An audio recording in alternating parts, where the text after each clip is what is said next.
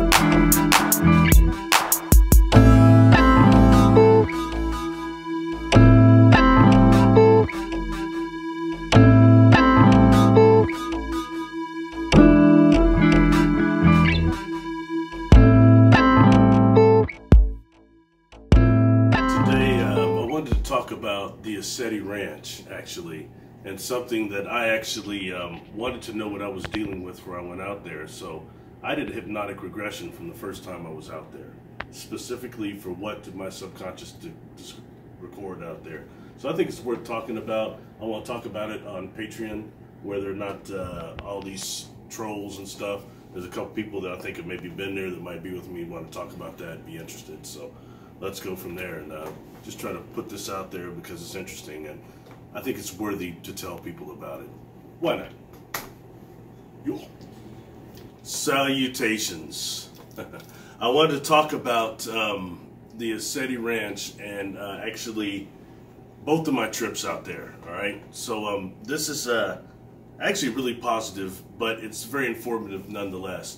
Now, the first time I went out to the ranch, um, I did a several videos over that if you look on the YouTube on my YouTube channel and you'll see how many unique experiences I had out there. And to be honest with you, I thought that that point of my life was kind of over. I was just going to kind of go on normal, and apparently not. I went out there and got blasted perceptually. So what I wanted to know is before I went out the second time in 2017 to uh, speak, uh, speak at the conference again, I wanted to know exactly what did my subconscious record during these conscious experiences. I've been around too long now, now and been through too much not to know that our superconscious and subconscious is where most of these experiences happen on. And a lot of these beings we're dealing with are so vibrationally fast that that's where they're at right now. That it's hard for us to even retain the memory of it, let alone um, uh, consciously deal with it. So that's that's something I want to do. So I want to know what I was dealing with when I went out there. So I actually got a couple of regressions, but one specifically over the first time I was out there and those experiences. All right. So I want to go over with you some things that came out of it and ultimately what I draw my conclusions of and why when I went out there last time I had a really good time, but I was very much looking things in a different perspective that no one was aware of, you know. But that's a good thing. So um, the first experience is I've been out there maybe two days. All right, and this is before the conference. So the conference, all the people hadn't arrived yet. And I was with my friend uh, talking to her in her tent at about 3 o'clock a.m. And I keep seeing lights in like the trees back behind her when we're talking. And she decides she's going to go like take a shower and stuff. And that's like way across from where her tent was. So she went over there. And when she went over there, I decided to go out in the field of dreams to go ahead and see um, you know, if I could maybe get a better look at whatever these lights were. And that's when I saw several craft. One comes up from the trees, it seems like. One comes off the mountain, and one comes from kind of the other other way back over there. And they're coming in, and these things are getting close. All right, these definitely aren't iridium flares. They start getting fairly close to me, to where I can see that really the different kind of configurations on them, and some of them are these light type of ships. And I observed these things for a while. They put on. Uh, what my Native American friends would say they were dancing in the sky. And I go back, finally go back to my friend, she never came back. I go back and uh, she just had left me out there for like it'd been you know 45 minutes or something. So I wouldn't exactly call it missing time, but it was very very odd, and the ships just came too close. So I wanted to know what I subconsciously saw. When I got uh, taken down to Theta, what my subconscious recorded there is I am looking at uh, actually seeing one thing. One of the ship coming off the mountain appears to be um, actually coming off one side, the other side of the dimensional door. This side, it appears to look like, honestly, like kind of a turban. All right, and it's coming like like a like a Hindu turban. It, it's coming off this mountain, and when it's detaching, what's coming through in this regression, I'm saying when it's detaching, actually it's cloaked dimensionally most of the time when it's there. When it takes off, it looks like um, a, a, ship shooting out of the mountain, but actually it's something a flare that happens when it uh, come, just detaches. So that's one thing that comes through there. Okay, so I start trying to see what's actually in this ship, and what I observe is, it's so interesting because I've never seen one of these beings. It's a cat being, and it looks like a bobcat. You're familiar with the bobcat that kind of has the longer whiskers. It looks like that, but it's about eight feet tall. It's got on, it almost looks like a Swami type of a, a, a guru jacket with a collar on, a golden collar on it.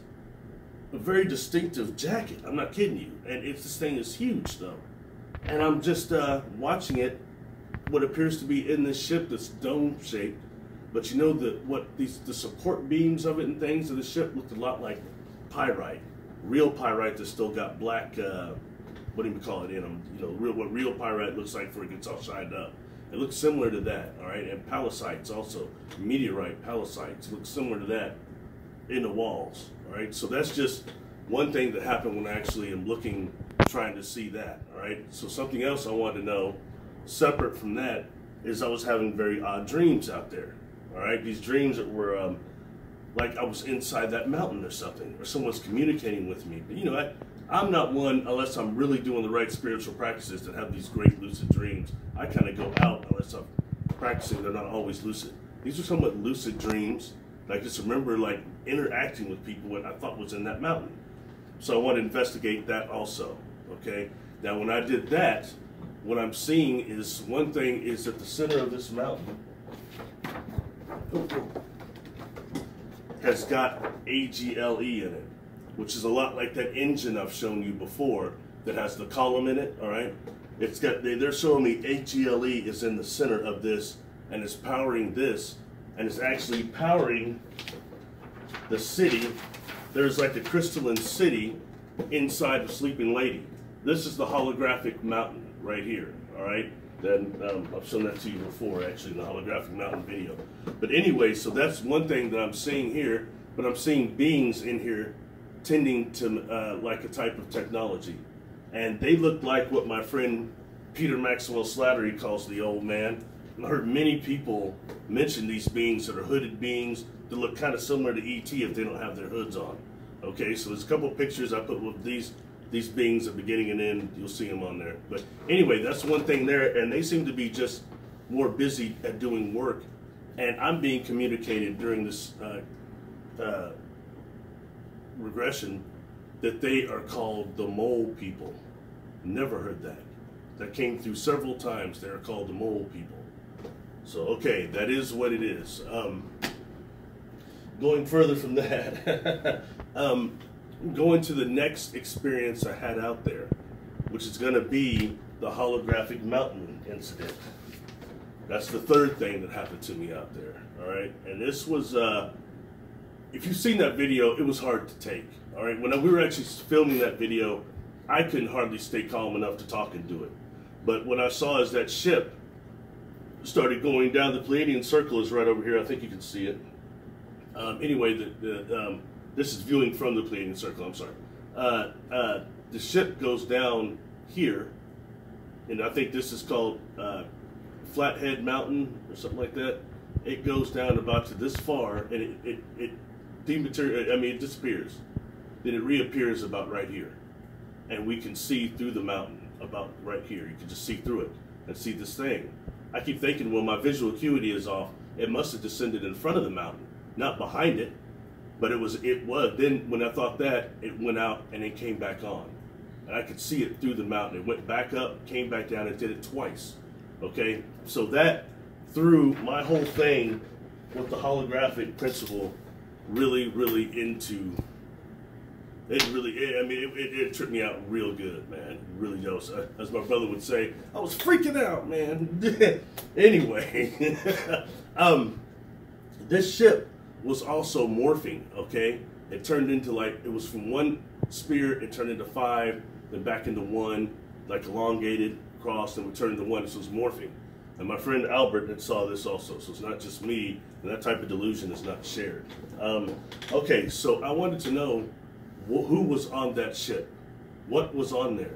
What was I getting super conscious wise? What was I getting on the theta? Maybe even delta, all right?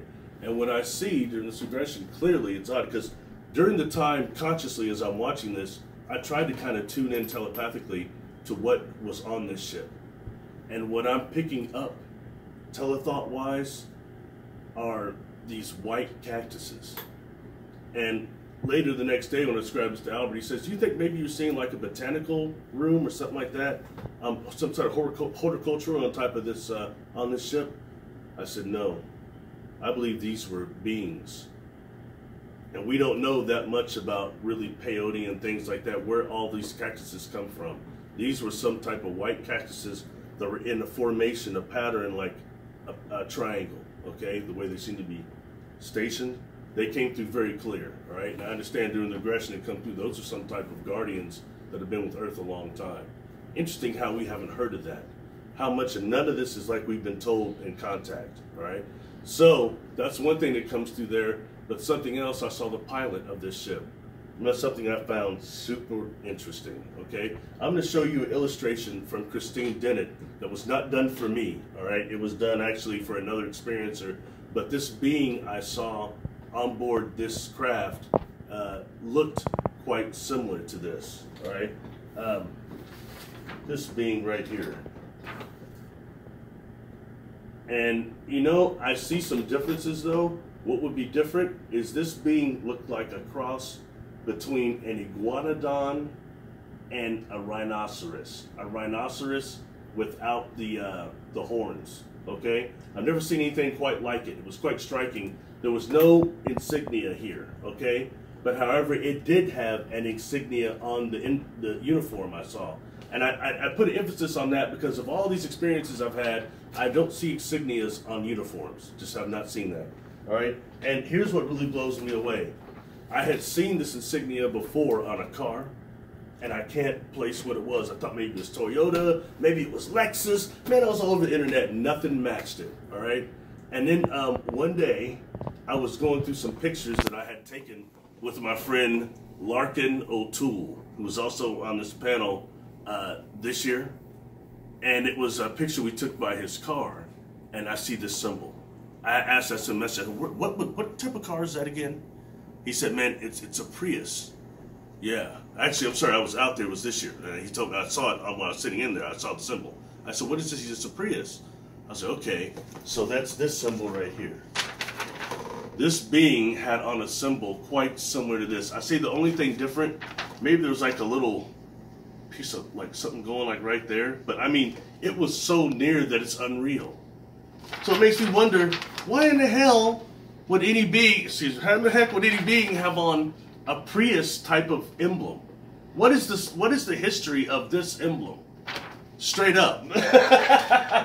anyway, so what's coming out in the regression is that this being is actually a Saurian. And that's odd because I'm getting constantly during this regression that nothing is like we're being told. In the contact experience, I already knew that, but I'm getting that that is a type of a Saurian. They're going a lot into inner earth. They're talking about inner earth a lot and how inside of this mountain, Sleeping Lady, there is a crystalline city. A type of a crystalline city that to me looks a lot like the Pumpkin Palace, that cave that I'll put a picture on the in the beginning of this, you should see the Pumpkin Palace. What they're showing me looks a lot like this. And they're saying that most humans can't be in there because negative emotions and vibrations disrupt this place. Maybe shatter it or something. I don't know. But I mean, that's that, that's intense. So That's what that's that's what distinctively came through there on that, and they're giving me a lot of information concerning the inner Earth uh, and how when I hear this alliance, the part of the alliance I deal with is not just extra, extra galactic, which I've talked about a lot, but interdimensional as well. The interdimensional means right here on Earth a lot of times. These beings within the Earth matrix, that there are like nine dimensions or more, like the layers of an onion. Same thing with the dimensions here on Earth. Always heard that. That's coming through the same thing. So you start getting into an inner city like that here on Earth, you're getting dimensional to a certain degree. I mean, this is very real. What I saw was real, and it wasn't the government out there putting on a holographic mountain. The sorry, as all conspiracy zones separated, they don't have that type of technology. What I saw, they're not that good, and I'll put money on that. Now I think they do a lot of other stuff that's hidden, but not this. I mean, this was surreal. All right, now going back. Um, that's the, the other thing was I had a Sasquatch encounters, but I won't go as much into that. Maybe another video. Um, I got a lot about realizing how I have ancestors that had um, a pact with Sasquatch in terms of they had like some trading agreements and things like that. And uh, also that Sasquatch still represents the Type 1 civilization that was here on Earth. And that whole place there, that whole that whole mountain there, this whole mountain of ECETI, I did a video about this I believe it's a device, all right? A device that actually, on top of other things, not just a hanger for some craft, and this, this, this power column here as a power center, I believe there's also some type of a device in there that produces holographic uh, imagery through orb technology. All right, and I say that the first day I was out there this year, I only had two things happen that really blew me away, three things, but not quite like the first year. But right here, I would see these uh, right by the pyramid right there, by the dimensional door at night. Several people on witnesses would look like almost disco lights in there, strobe lights. And I kept looking at it, I was like, man, that looks like a processor from the old uh, TV shows, like in the 70s when they show you a computer, it's going that old stuff. It looked like that though. And it wasn't lasers anymore. I had other people help me, son, tell me nobody's shining lasers or anything. We all watch this again and again. I believe that it's producing orb technology that will do something that will push your, your consciousness forward. So give you an example for me. Now that I know that out there there is some type of an intelligence behind that mountain out there, okay? How does that mountain interact with us in the divine field during our experiences? And I say this because I'm very leery of some things, although I believe what I saw, but I, will tell you, it, this was in regression, but still, my subconscious did see this, but by the same, my superconscious, but the same token, I have been told several times that there are cat beings out there from Lyra, cat beings from Sirius, and things like that. That's one of the things out there. So my subconscious, my, my consciousness has already been kind of tainted with that and saturated with that. So in turn, I'm having a real experience, but this intelligence out there is that how it's interacting with me? Since I'm not seeing a, a cat being, well, here you go. you understand what I'm saying? I don't know, but I can tell you that we have to deal with the fact that not all of these are beings. These are beings interacting through the quantum hologram. That whole hologram thing you see going on out there, that's what is being produced by that land. And you know, the Sasquatch keeps coming up again and again, inner earth, inner earth. People are hearing infrasound out there a lot. So I think that needs to be just really looked at. And how many other are these devices are still in existence from a type 1 past Earth civilization to help awaken humanity. Because if you're on that property out there, once you get kind of cleansed, the healing of the um, of the of the land itself will kind of heal you. Once you get past that, then you're gonna you know you're gonna have like um, an orb technology, something that stretches your consciousness. I did that interview with Jimmy Church on Coast to Coast. He started laughing because I said, "Now you were out there." He goes, "Hey, no free talk about that." I said, "You were out there. Didn't something happen that changed your consciousness for the better, made you want to expand forward?" He's like, "Yes." Everybody, a lot of people say that if you're awakened, you go out there. That's kind of it's a it's a thing of the land. All right, so that's just um, the way I want to at least I want to put that at least as far as the land itself. But I think that once those orbs get around us, because before we saw this holographic mountain, I was walking towards the Pleiadian circle with Albert, and he was I was a little bit walking a little bit ahead of him, and he was saying things. I turned and look at him, I kept seeing these purple orbs like behind him, like back there. They're big. I could turn back again. They weren't always there, but I detected them several times. So I'm wondering, did that get in my field of awareness and cause me to see this holographic mountain like that? Did that's why I saw that? Is that how all of a sudden I'm seeing a cat being? Is that prime intelligence? Is that how it's interacting with me through the quantum hologram and the divine field that alters my perception? So that's how I'm experiencing it. That may be all of our experiences. A lot of what we see are holograms to a certain degree, and it's very real, you know. So that's uh, what I want to do there. I'm going to look through these notes real quick. First of all, when I do regression like this, it ran probably an hour and a half. So there's a ton of information that comes out. It's being recorded, so I mean, I can go back and listen to it, but I have to jot that stuff down. It's a lot. And some of it will blow you away in terms of what information actually comes out. So, um, let's see. Um, the ships and the, that they're mining out there, they're mining a lot of ores and things like that that, keep, that kept coming through. How much they're mining from that area out there, and they always have. But they were talking of ships that were different than the organic ships I normally speak of and have been on board. They were talking about non reproductive silicon consciousness. That's what come through, and that's what they're saying, okay? non reproductive silicon consciousness.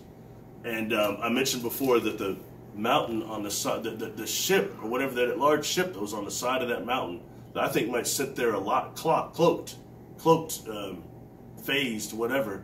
It looks a lot like, honestly, some type of a turban, or like maybe the Maharaja, the Taj Mahal, something like that. I'll put up pictures of that. But I mean, that really tripped me out. So it makes me think of, Lord, where did they get the the idea for those hats. Where is really the origin of that? It's worth investigating. Takes a lot of research though. Um, all right. Um,